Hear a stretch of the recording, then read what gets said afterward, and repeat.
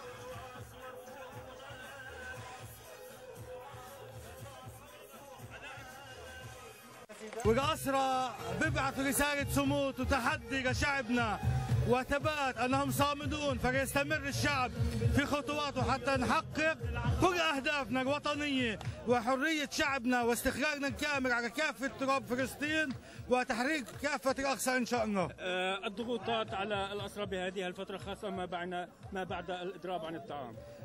الاستفزازات الضغوطات مستمرة لكن دائما تتحطم أمام إرادة وصمود الأسرى اللي بحيوا شعبنا على وقفتهم معه. خلال معركة الكرامة الأمعاء الخاوية حتى استطاع أن ينجز كثير من حقوقه ويطلب من شعبنا الاستمرار في هذا الدعم حتى ينتزع باقي هذه الحقوق إن شاء الله. الحمد لله سلامتك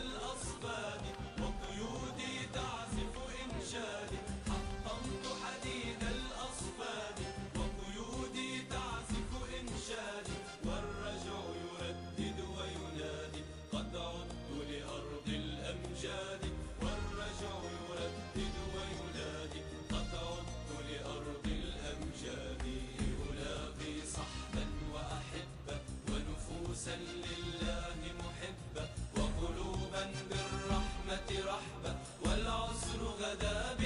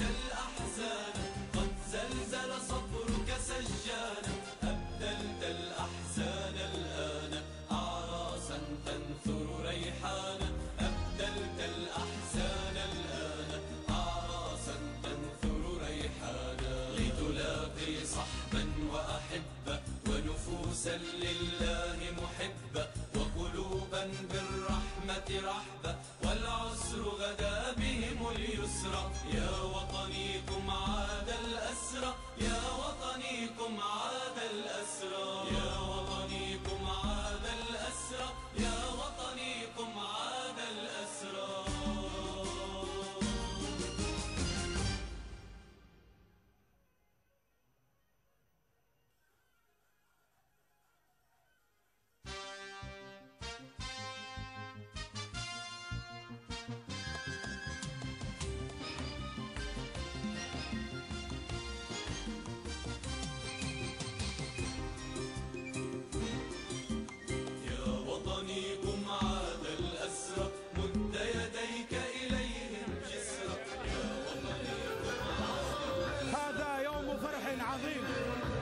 هذا يوم فرح للشعب الفلسطيني.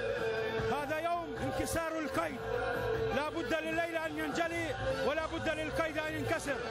هذا يوم من أيام المقاومة الفلسطينية من أيام الشعب الفلسطيني. هذا يوم انتصار السجين على السجان. وبإذن الله سيأتي يوم سنفرج عن جميع الأسرى. بإذن وجل رجالا ونساء مؤبدات وأحكام عادية. هذا عهد شعبنا لأسرانا بجميع أطيافه. ألوانه انظر الشعب الفلسطيني كل جماهير محمد الكريم من جميع الألوان من جميع الفئات خرجت لتستقبل الشيخ رافت ناصير كأسير للشعب الفلسطيني وليس أسير لك حماس. فالشعب الفلسطيني منتمي لوطنه منتمي لأسرائه. يفدي وطنه وأسراه بكل ما يملك.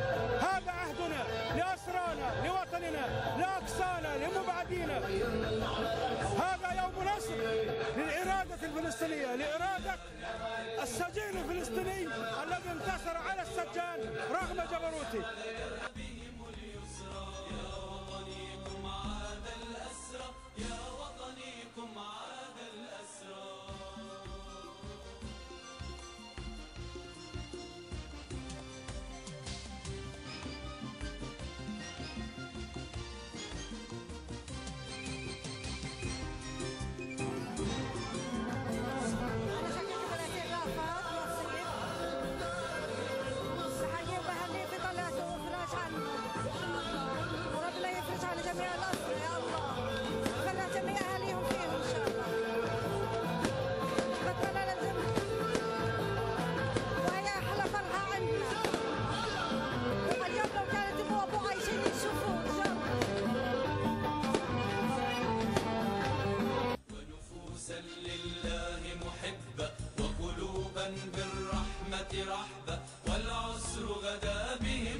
اليسرى يا وطني قم عاد الأسرى يا وطني قم عاد هذه فرحة نتمناها في كل بيت أسير فلسطيني في سجون الاحتلال. ونتمنى للجميع في الإفراج والحياة السعيدة بين أهاليهم وفي ظل وطنهم كيف الأجواء اليوم؟ أجو... أجواء لا توصف. أجواء لا توصف. عليكم. آه، إحنا الحمد لله رب العالمين. آه، فرج عن الشيخ رفعت بعد 42 شهر. وكان بالعذاب 42 شهر على أساس إنه عنده أمراض ودخل بإضراب. لكن الحمد لله وإحنا بنتمنى الأفراج عن الأسرى الجميع. وإن شاء الله بيعيش حياة ملوءه بالحنان والفرح على أساس إنه يتجوز واعتقلوا كان شهر لزواجه. وإن شاء الله بكمل حياته الزوجية. ودون آه،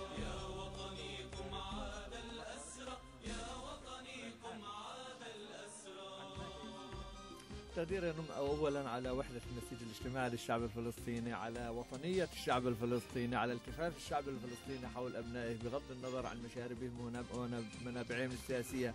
نحن أصحاب قضية عادلة، نحن أصحاب مشروع وطني، بالتالي يجب أن نلتف كل أبناء شعبنا الفلسطيني على ابنائه المعتقلين.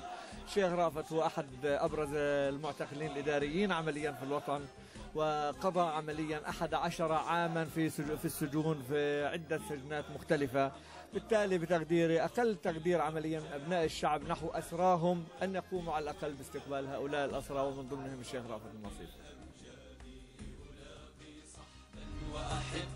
ونفوسا لله محبة وقلوبا بالرحمة رحبة والعسر غدا بي